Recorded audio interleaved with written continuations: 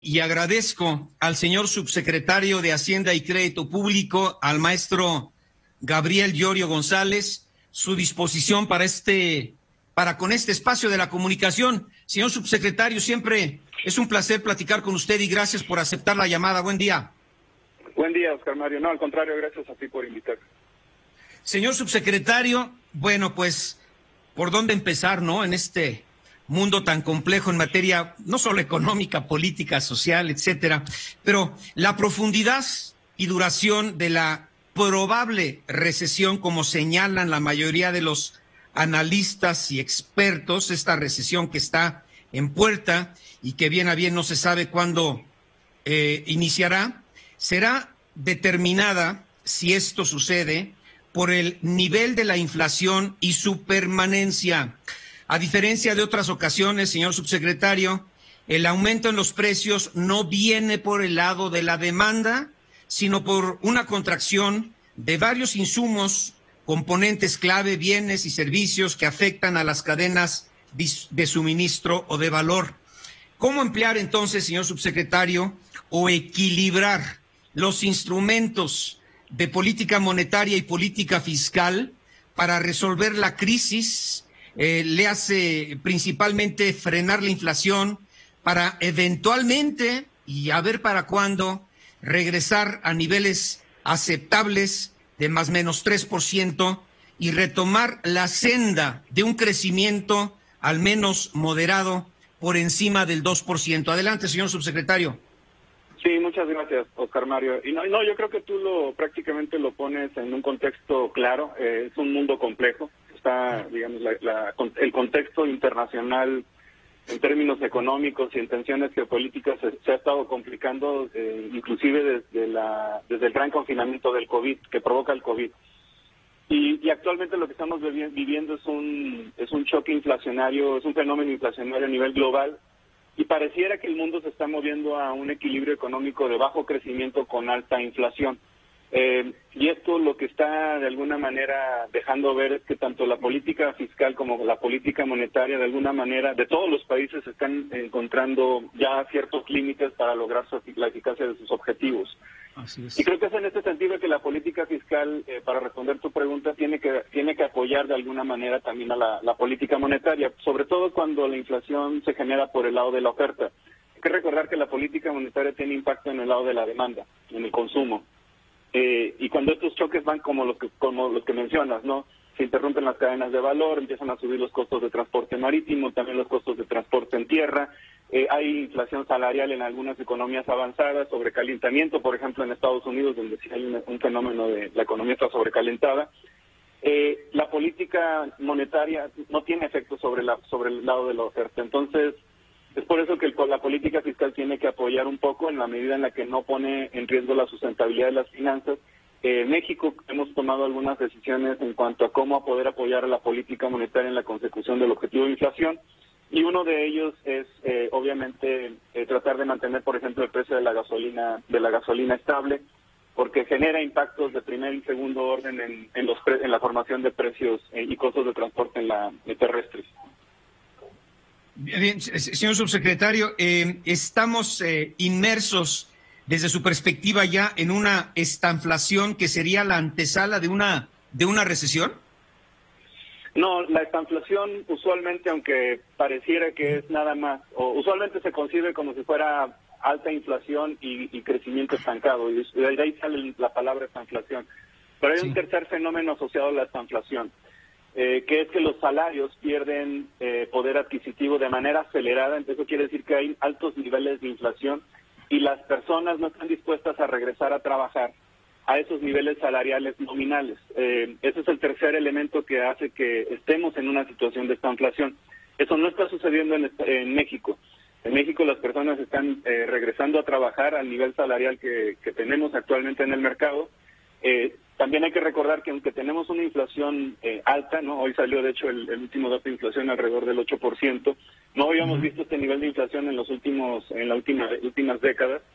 Eh, no necesariamente tenemos un problema en el mercado laboral. Eso es muy diferente a la situación que está viviendo Estados Unidos, donde, donde sí tiene un sobrecalentamiento de la economía, hay inflación salarial y, hay, algunas personas que no están queriendo regresar a trabajar. Pero tiene otros, eh, tiene otros, eh, otros determinantes. Eh, hay las personas en Estados Unidos están decidiendo no trabajar por otras razones. Entonces pareciera que nos estamos acercando a esta situación. Todavía no es claro, inclusive si bien la probabilidad de una potencial recesión en Estados Unidos está incrementando, todavía no queda claro si esta va a ser, eh, como dicen los economistas, un aterrizaje suave, si va a ser abrupto, si efectivamente va a ser una recesión técnica que va a durar poco o, que va, o va a ser larga. Yo creo que hay un elemento que hay que considerar como son las utilidades o los márgenes de utilidad que tienen las empresas en Estados Unidos. Estos todavía son grandes y pueden absorber choques. Y esto de alguna manera también permite ver que hay eh, estos colchones o buffers que, que, podrían absorber el, el, impacto de una potencial recesión. Eh, entonces todavía no queda claro. Eh, se está hablando mucho de eso y mucho debate, pero todavía hay que seguir monitoreando otras variables.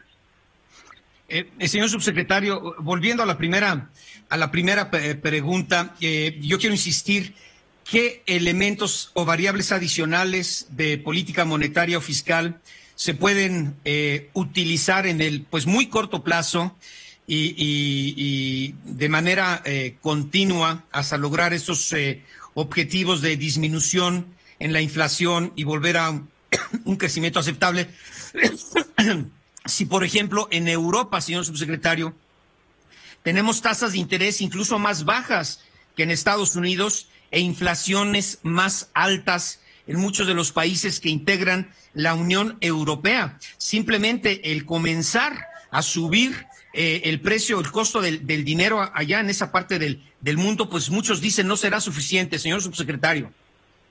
Eh, no, definitivamente, eh, y por eso decía yo al inicio, la, política monetaria en este contexto de, impactos de naturaleza de oferta no necesariamente tendrá eh, los, la efectividad que usualmente tiene. y digamos, están, están pasando varios fenómenos alrededor del mundo. Las economías avanzadas, sobre todo Estados Unidos, sí tiene una economía sobrecalentada donde la Reserva Federal pues, va a tratar de controlar el, el crecimiento de la demanda. En, en Europa está pasando algo similar y en esto lo que va a generar es un incremento en las tasas de interés en los países avanzados, en los mercados internacionales, pero no necesariamente, y esto también se va a traducir en, ajustes de tasas de interés en los mercados emergentes como México o de países de ingresos medios como México que tiene acceso a mercados internacionales y un desarrollo del mercado local. Eh, pero yo creo que otros elementos, como por ejemplo, no nada más política fiscal, porque hay que recordar que también la política fiscal tiene un límite y es la sostenibilidad de las finanzas públicas en el largo, mediano y largo plazo. Eh, y por eso desde hace un par de meses en Hacienda hemos hablado de que hay que trabajar también el lado de la demanda, de la oferta, perdón, medidas de oferta. Y estas tienen que ver con reducción en los costos de la economía, hacer inversiones en infraestructura eh, y reducir, por ejemplo, estos costos de transporte, costos de logística, costos que van generándose eh, a lo largo de las cadenas de producción y que terminan impactando la formación de precios. Eh, y por eso es que estamos hablando que hay, que hay que recurrir ahora a estas acciones por el lado de la oferta ante las limitantes que vamos a ver por el lado de la política fiscal eh, y monetaria. Entonces creo que no nada más va a estar recargada la responsabilidad en los bancos centrales, el gobierno tiene que entrar, pero también eh, hay responsabilidad de toda la nación en cuanto a que disminuir costos, tratar de, por ejemplo, eliminar, eh, incrementar la logística o facilitar la logística, la facilitación de comercio, la movilización de mercancías, tener más producción, competitividad. Y esto yo creo que van a ser las medidas que van a ser eh, probablemente más populares a, partir de, este año. No nada más en México, sino en el mundo.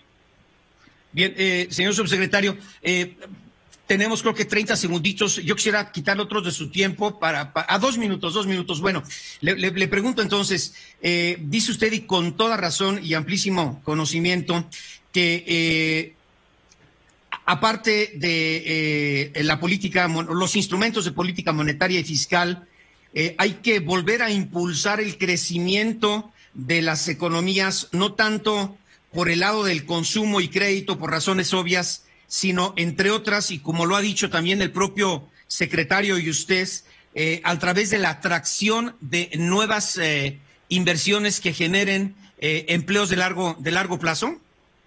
No, sin duda. y por eso decía que la inversión en infraestructura usualmente genera una mayor movilidad de la mercancía, conectividad, facilitación de comercio. Y, y, solo para darte un ejemplo, eh, bueno, en este momento de hecho vamos a salir hacia Minatitlán. El día de ayer tuvimos la visita del vicepresidente del Banco Interamericano de Desarrollo. Con el BID hemos venido trabajando en identificar eh, cuál es el potencial de las em, y, los sectores productivos que pueden eh, relocalizarse eh, de otras regiones, de las regiones de Asia hacia México. Eh, el potencial de México es de alrededor de 35 mil millones de dólares solo por, por volumen de exportaciones. Y eso quiere decir, es un impacto directo que se puede multiplicar. Y el día de hoy vamos a estar eh, visitando el, el, corredor interoceánico, porque precisamente ahí estamos queriendo eh, desarrollar 10 polos industriales, 10 parques industriales y este enclave industrial lo que va a generar es mayor competitividad, mayor movilidad de mercancías a través del, del tren, a través de los puertos, de las inversiones en puertos. Señor subsecretario, perdón que lo interrumpa, deme, deme, deme, tres minutos para, porque, para, porque no quiero que estamos platicando con el señor subsecretario don Gabriel Llorio González, un economista que bárbaro, realmente eh, con una preparación enorme y sus conceptos clarísimos. Decía, estoy en el aeropuerto a punto de tomar mi vuelo a Minatitlán, creo que dijo, ¿verdad? Y bueno, pues este se tuvo que, subir al avión, así es que, eh, pues ojalá que mañana, ¿no? Vamos a platicar con la gente de comunicación de de la Secretaría de Hacienda. Ojalá que mañana podamos retomar esta charla siempre interesante con este gran economista y financiero que es don Gabriel Llorio González, subsecretario de Hacienda. Pero fíjese, fíjese, yo, quisiera eh, eh, repasar con, el, con el, autor esto que nos decía, ¿no? Pues obviamente los instrumentos tradicionales de política monetaria, o vamos al más socorrido, que son las tasas de interés para frenar la, la inflación, y después, eh, pues también eh, los activos de política eh, fiscal no van a ser suficientes, no van a ser suficientes para llegar a un punto, para que pronto podamos llegar a un punto de inflexión que permita regresar a precios bajos y crecimiento aceptable. Y señalaba algo importantísimo y además exactísimo, el subsecretario Iorio decía, eh, decía, no, dice, es, ni, ni, ni, solo política monetaria, ni solo política fiscal, porque eh, pues de que vamos a estar en una recesión, a entrar en una recesión pronto, pues la mayoría de los analistas es lo que, lo que, lo que opinan, eh, dicen, eh, podrá, hay 70, 80% de quienes intervienen en estas encuestas para saber cuándo y cómo vamos a entrar en un periodo recesivo eh, que, se define por dos trimestres consecutivos con crecimiento negativo, etcétera. No, bueno, es una definición de allá de 1975, si no mal recuerdo. Pero bueno, es la que se, la que se aplica, la que se sigue entendiendo, entendiendo así. Y, decían, bueno, que va a ser una recesión eh, eh, leve, eso es lo que dicen, va a ser una recesión leve, pero puede ser prolongada y eh, que afecte a muchos sectores de la, de la, de la, de la población. Dicen, será una recesión leve, pero prolongada y eh, dolorosa. Eh, así la, la califican muchos expertos. Pero bueno, atinadamente decía el señor subsecretario, ok, ni a través de política fiscal, ni a través de política monetaria per se, o nada más exclusivamente podemos llegar eh, a, revertir este eh, eh, proceso o rumbo que nos lleva al, al destino de, la, de la recesivo, pues, o de la, o de la recesión, dice, hay que impulsar el crecimiento económico, económico, y yo le decía, pues, no tanto por el consumo y el crédito, ¿no? Por razones obvias, sino más bien, decía el señor subsecretario, por esto que también ha destacado pues prácticamente siempre, hasta antes de llegar a la titularidad de Hacienda, el, eh, eh, doctor Ramírez de la O, dice, debemos de atraer mayores inversiones a nuestro país, mayores inversiones a nuestro país para volver a detonar ese crecimiento económico. Y él hablaba que hoy mismo le toca supervisar este eh, eh, corredor transoceánico, transoceánico del, eh, del, Atlántico al, al, Pacífico y que será una gran oportunidad para, entre otras muchas, lograr este objetivo. porque bueno, ya no lo dijo, pero sí lo ha mencionado tanto el titular de Hacienda como el señor subsecretario, que México posee las mejores y mayores ventajas comparativas y competitivas, no solo por nuestra posición geográfica, eh, y entonces, pues se, requiere, se requiere eh, también, y esto ya lo agrego yo, no lo dijo hoy el señor subsecretario, pero pues eh, también va en esa misma en esa misma directriz, se requiere de confianza, de credibilidad y de certidumbre para que los dineros nacionales y extranjeros, las nuevas inversiones se establezcan en nuestro eh, país, multimillonarias y generadoras de empleo de largo, de largo plazo. Bien interesante, no solo es eh, instrumentos de política monetaria, equilibrio con la política eh, fiscal, sino atracción de nuevas inversiones nacionales y extranjeras en nuestro país. Qué interesante siempre platicar con el señor subsecretario Gabriel Llorio, tuvo que subirse al, al avión. Sabemos que el aeropuerto internacional de la Ciudad de México está, hecha está hecho un caos, un caos, eh, pero, pero bueno, pues ojalá que mañana o, la próxima semana podamos seguir eh, esta conversación siempre interesante eh, con el señor subsecretario. Y yo le agradezco mucho, don Gabriel Llorio González, siempre su buena disposición para con este espacio de la comunicación en México. Bueno.